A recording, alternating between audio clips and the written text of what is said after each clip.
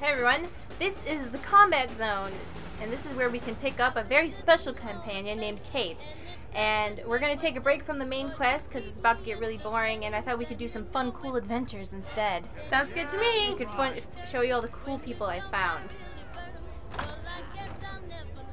in my alternate play. There she is. What? concludes this round. What the? She ain't supposed to be in here! Yes, I am. Yes, I am. I'm cool. Oh, damn it. You're gonna regret it.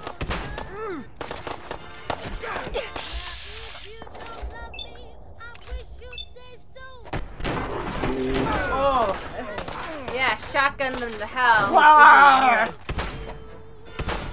There's a reason why I use the VATS system.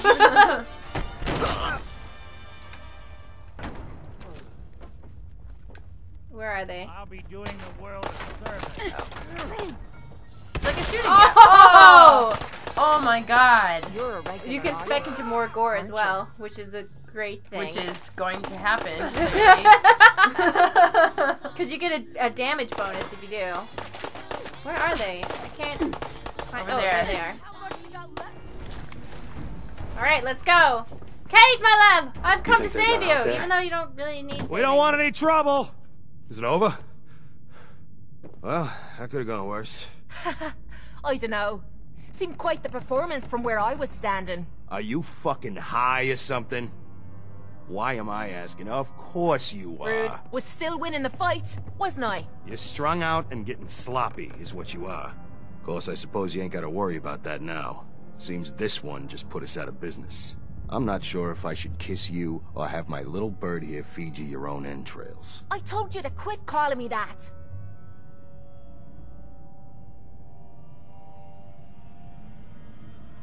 I'm sorry? It just seemed like you guys might be in trouble. Trouble?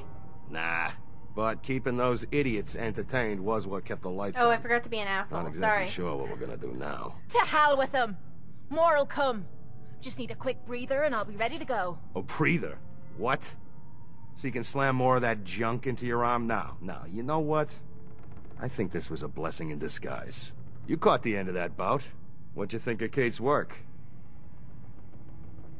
Should we be a jerk? No, we gotta be nice to Cait. Oh. Well, we don't have to, but she's the only one I want to be nice to. Yeah. She's clearly talented. See? At least someone knows skill when they see it. It ain't your fighting skills I'm concerned with. So here's my predicament. I suddenly got no audience. No audience means I got no caps coming in. And if you ain't bringing in caps, little bird, you ain't an asset. You're a liability to me and to yourself. So, here's what I'm thinking. What say I let you take over her contract? She goes with you, watches your back. Look, you'd be doing me a favor while I try to get the place back in order. What do you say? Me. And her. Why would you want her to go with me? Yeah, Tommy. Just why the hell you trying to get rid of me? Look, truth is, all that junk, it's been making you careless. And I don't want to be the one doing color commentary when you finally hit the floor. All right? So just do me this favor. Both of you. Please. Yeah. Cat's thoughts? Oh, yeah. I'd like to know what Cait thinks. Don't I get a say in all this? That ain't how a contract works. Besides, you really want to stay here? No audience, no caps, no one to talk to, but yours truly. Jesus. Point taken. Atta girl. So, she's on board. Now what about you? Yeah, let's go. Sure. I could use someone watching my back. Good. It's settled then. And here, take this. It's the purse from the last fight. Exterminator's fee. Now just wait a second. What exactly are you gonna do without me here? You don't need to worry about me. I'll get this place set up right. Maybe find a less blood-soaked clientele. Now get the hell out of here. You ain't welcome anymore, little bird. You're a real son of a bitch. You know that, Tommy. You don't have to tell me. I guess you just come find me then when you want to head out. Let's go, Gay. Cait, So, you're ready to head out? Yes. Wait, how are you feeling? How are you feeling? that depends. How are you feeling? I dunno. Feeling kinda useless sitting here with me thumb up me arse. So, are you ready to get this show on the road? See? Yeah. Everyone's like, Piper's the best. Or what's her name? Piper? I think Piper. Yeah, you can romance Piper. I'm like, no, no, no. Cait. Ready. About time I got out of this place. Let's go. Heading out with Cait, huh? Hope you know what you're getting into. Rude. Hey, Valentine. I think you've got something on your face. Oh, it's skin. Yeah, you might want to get that looked at. Oh, while you were gone, I set up a few settlements. oh, excellent. So now, oh, you can like as you play, you can grow your settlements and stuff. But actually doing it is boring to you. To me, it was very exciting. I was like, and then I'm gonna set up defenses, and now there's a clean water source for my people. Ooh, now there's enough people tending to the field to give them food to last through the winter. Wonderful. You would have been like, let's leave. Yeah, let's go do stuff now.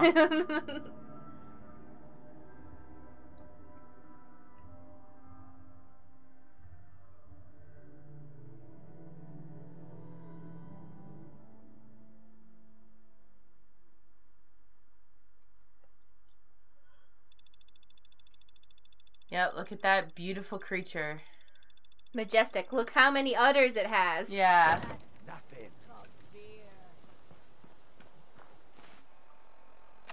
And then we want to go to. Hold on.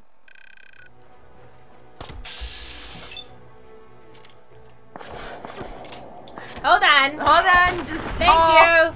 Just wait for it. Oh wow, that was Perfect. perfect. Wonderful. Everything you've ever wanted in life. Beautiful. What's this? Is that a We- mannequin? We, don't want to go that way. Oh wait, yes we do. If we go this way, there's robot pirates. But we need to go to Good Town first. Goodneighbor? Good neighbor first. You didn't see this.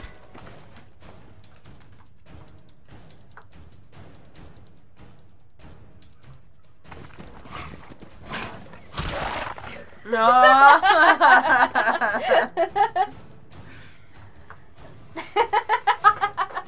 um, I didn't. You, you know, you guys didn't see that. don't worry about it. All right, see magic. Ta-da! All right, okay. So now, guys, we're in Goodneighbor, and I'm about to show you guys the only male character in this game that I really desperately want to bone. Don't judge me. Hey, hold up there. First time in Goodneighbor? You can't go walking around without insurance. Not this guy. You better right? back off, or you're the one who's gonna need insurance. Well, well, hey, all right. We'll just say your insurance is paid up for now, okay? Whoa, whoa, whoa. Time out. Someone steps through the gate the first time, Oh. they're a guest. You lay off that Cait's like, don't look at extortion him. Look at crap. me. What do you care? She ain't one of us. No love for your mayor, Finn. I said let her go. You soft, Hancock. You keep letting outsiders walk all over us. One day, there'll be a new mayor. Come on, man. This is me we're talking about. Let me tell you something. I love him. Why'd you have to go and say that, huh? Breaking my heart over here. Me too. Now I know you had old Finn handled back there, but a mayor's gotta make a point sometimes. You alright? Wow. Yeah, Yeah. I'm okay. Doing good. I'm fine. Thanks for taking care of him. Good. Now don't let this incident taint your view of our little community. Good neighbors of the people, for the people. You feel me? Everyone's welcome. Sarcastic. Of the people, for the people. Oh, brother. I can tell I'm gonna like you already. Just consider this town your home away from home. So long as you remember who's in charge. All right, He's a pirate. now let's check out this person. Well, hello. Everything here is guaranteed to injure, maim, or kill at your discretion. Except me. I only kill when I want to.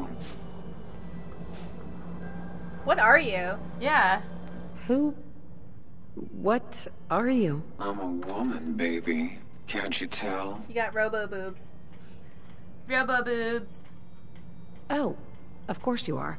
It's just all those metal plates. You're a robot, right? A very womanly robot. Designation Assaultron. Designed to provide a variety of security-related tasks to the modern man. Runtime conclusion. Why work for the man when you can work for yourself? New designation. K-L-E-O. Kleo. Fully independent small business owner. I owner. love you, Kleo. Robot enough for you, smooth talker? Now what are you buying? A Soltron? Yes. You're an Assaultron? That's what my makers called me. But as far as I'm concerned, I'm a woman. And I run a store that sells very large guns. Unfortunately, So what'll it be? unfortunately, you cannot romance this The robot. the Robo Woman, the Assaultron robot Because she woman. sounds very like. like she would have like you know how you know what I imagine her as being when you have sex with her. She like replaces her hands with like automated Dildos? dildos, that like they're like See something that, you like one is like a piston dildo and the other one's a vibrating one, but it's like a really like fast jackhammer one. It's like but both her hands, like one's a vibrating one and one's like a jackhammer one, and you're, Mhm. she's like, "Are you ready?" I'm ready. I am ready. Don't keep me waiting, baby. See what I'm Mhm. saying with this? So, what kinds of weapons do you have? Anything that can kill a man, I sell. Except suicidal depression. That is unfortunately not packageable. Now, are we doing business? Yes. I've got a few minutes to browse. Each weapon tested on someone who deserved it. Oh, perfect.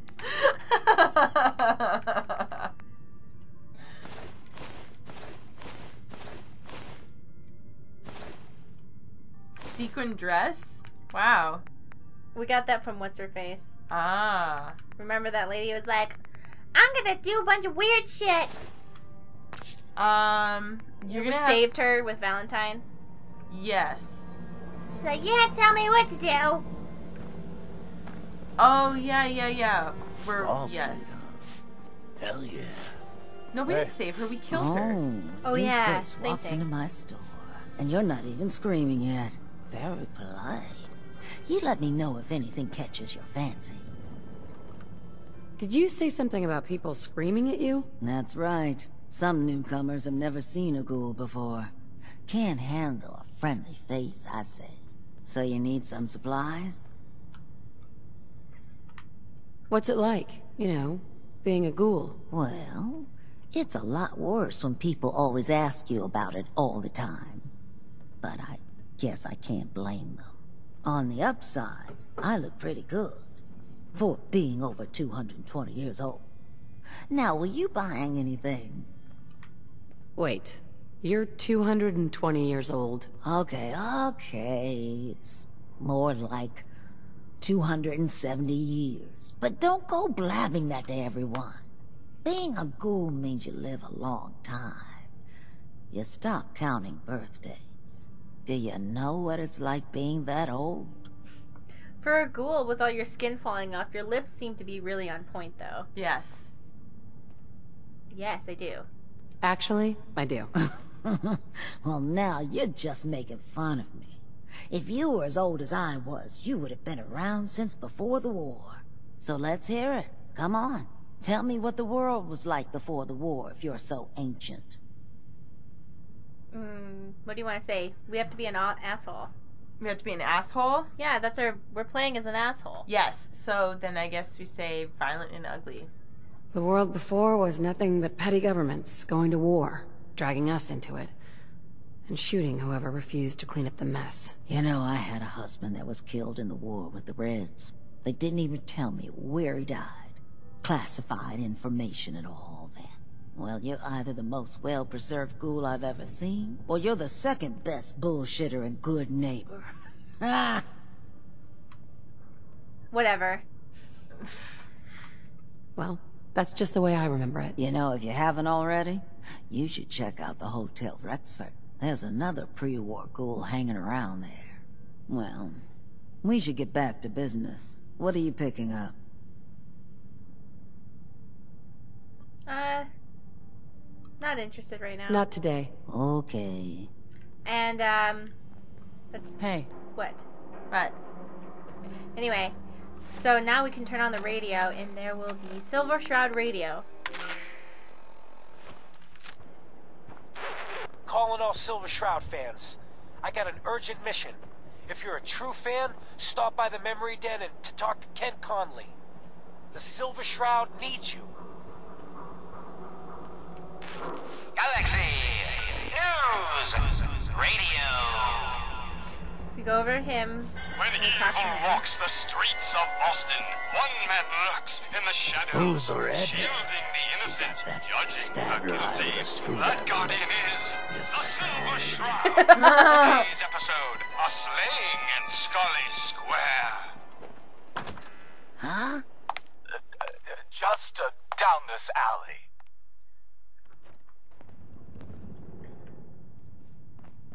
Well, well, well. Looks like someone got lost on the wrong side of the tracks. You got the memory pod loaded up? Yeah. You're not Irma. Wrong side of the tracks. I, I'm just. Goodneighbor's crazy. Thefts, murders, worth. Oops, I'm sorry. Wrong button. Okay. Uh, the world's horrible. The whole world's crazy. N- n- no argument here. You ever listen to the Silver Shroud? That's what we need. No matter how bleak things got, he saved the day. Silver Shroud. Ooh, oh, damn it! Sorry. sounds Wrong button. I'm sorry. You'd remember him if you heard his show. They're the best detective shows in the whole world. What if the Silver Shroud was real? With his black trench coat and gleaming silver submachine gun? I got a plan to bring him to life. So he can fight bad guys and give the rest of us a symbol of something better. Uh, humor him? Sure, Kent. You have a plan, all right. I know how it sounds. I've built my own custom machine gun. Even better than the one in the show. But to make this work, I still need the most important piece. The genuine Silver Shroud costume herself. And they actually got one here in Boston. They made it for the TV show. Will you help? Yeah, sure. Fuck yeah. Reward. I might do it, if you make it worth my while. I can give you some caps up front. Just promise you'll help me. Definitely. I'll get the costume for you. You're gonna do this? For real? Before the bombs fell, they were filming the Silver Shroud pilot over at Hubris Comics. So that's where you'll find it. You're the best. This guy is He so looks- adorable. I know, he looks so excited. He's like, yeah, let's do it. It'll be awesome. Well, so in the context of his life, he lived through the entire events of everything. Yeah. Because after the first bombings, it was really bad for a long time. Mm-hmm. Very bad.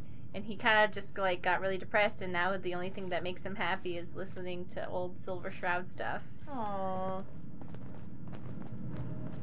This lady?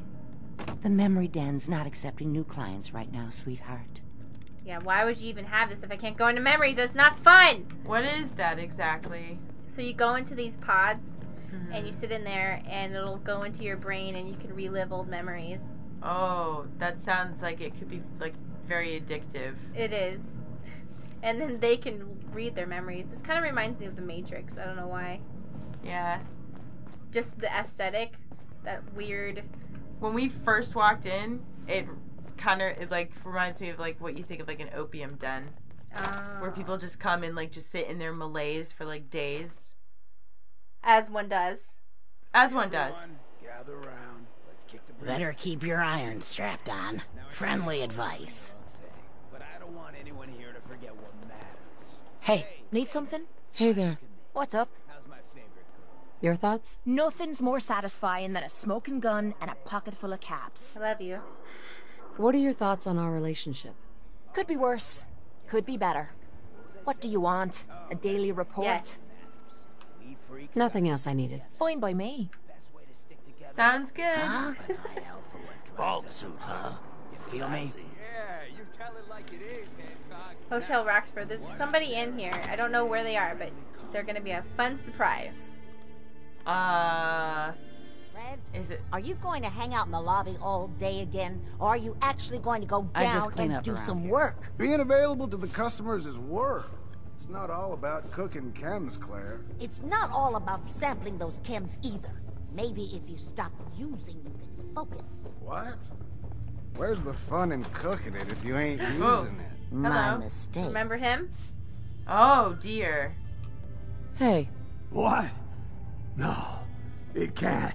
It, it, it, it's you from Sanctuary Hills, right? Oh. Oh goodness. Maybe. I might have stopped by there once or twice. You're not fooling me. I sold you that space in the vault, remember? But then, I wasn't on the list to get in.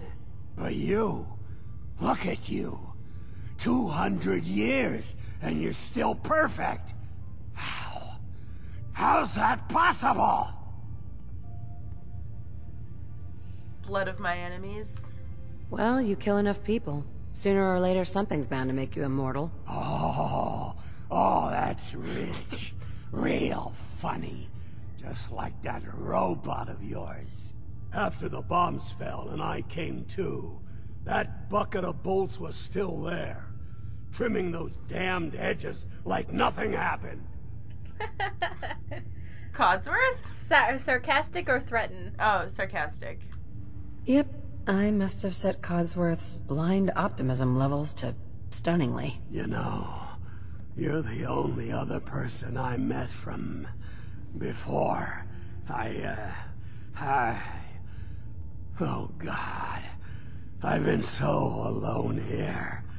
No Commonwealth settlement, once a ghoul with 200 years of Vault Tech sales experience. Yeah, you can come to stay in my place though. Yeah. Hey, you know you could head back to Sanctuary. I'll come visit. I promise. Really? You... you will? Okay, I'll head over there right now. You promise you'll come visit, right? I'll see you there. If this ghoul ends up living anywhere near me, I'm moving Rude, out. Cait. Shut up. It's cute sometimes, but sometimes you're being real rude, okay? Get some manners.